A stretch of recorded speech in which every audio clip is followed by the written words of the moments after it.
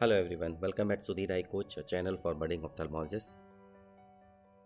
Today I'll be sharing a video where the patient develops cataract uh, after a couple of years of uh, ICL implantation.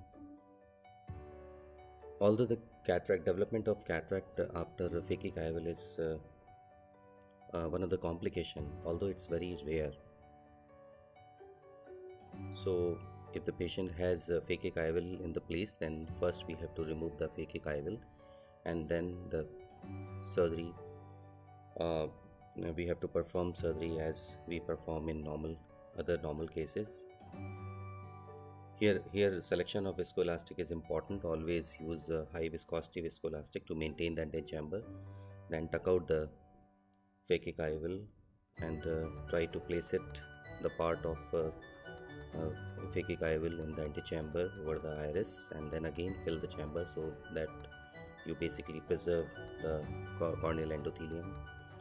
Then try to hook it uh, at the place where you can hold um, the tip of uh, the edge of the phakic IOL with the McPherson forceps so that you can pull it out.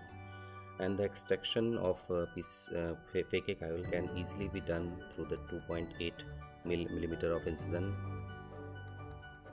Sometime holding of uh, phakic will become slightly tricky and uh, you have to secure the iris also.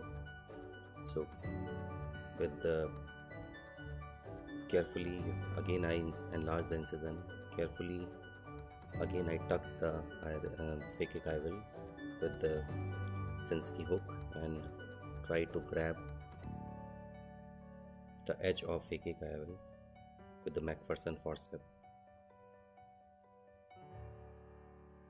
Here you have to take all precaution to preserve the cornea. You have to be also cautious not to hold the iris. Fill the chamber again to protect the corneal endothelium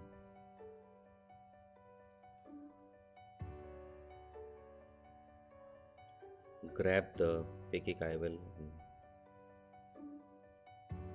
at the edge and then easily you can explant the phakic IOL. After a couple of years of uh, implantation, the norm the phakic IOL develops slight uh, yellowish tint, which is not there in the fresh uh, IOL.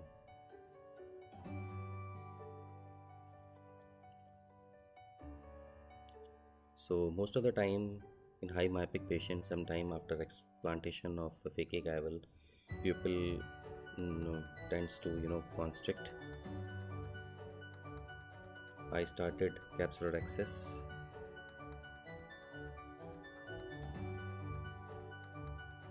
Sometimes you have to hook the iris tissue to stretch the pupil so that you, you get a decent size capsulorhexis so I finished my capsulorhexis of optimum size. Now time for hydro procedures. Because patient is still young so the nucleus is not there. And the lens matter matter is still soft. So I did hydro. I performed the hydro delineation and dissection again fill the chamber with dispersive viscoelastic and started to remove the nucleus matter with the phaco. Then i realized that uh, since that uh, since the nucleus is not very hard so it is better to remove this uh, soft nucleus uh, part with the irrigation aspiration tip. Because uh, in high myopic patients we cannot afford to get, get postcapsular tears. Otherwise patient will develop develop um, detachment in near future time. So very careful aspiration with IA tip. Secure your posterior capsule and with the second hand instrument you can manipulate the loose uh, fragments and uh, easily you can aspirate the whole of the nucleus along with the epinuclear plates. Again I filled the chamber with the high viscosity viscoelastic. Here I implanted uh, plus 2 diopters of uh, multi-piece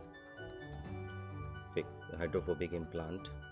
For that you have to load the IOL securely in the cartridge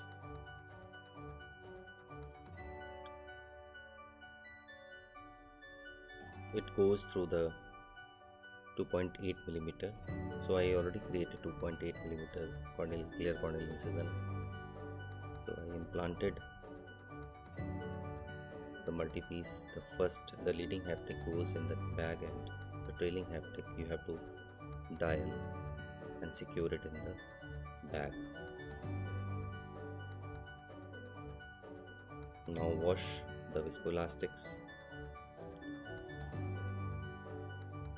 from the antechamber and while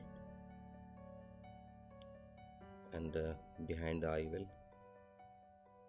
So, um, performing a cataract surgery with phakic IOL is not a rocket science. Simply, you have to secure your cornea and remove the phakic IOL, tuck it well, and through the 2.8 millimeter incision, you can easily explant and then perform cataract surgery carefully because the patient is myopic so you have to secure the posterior capsule then hydrate the cornea wound well. Always try to achieve a tight secured incisions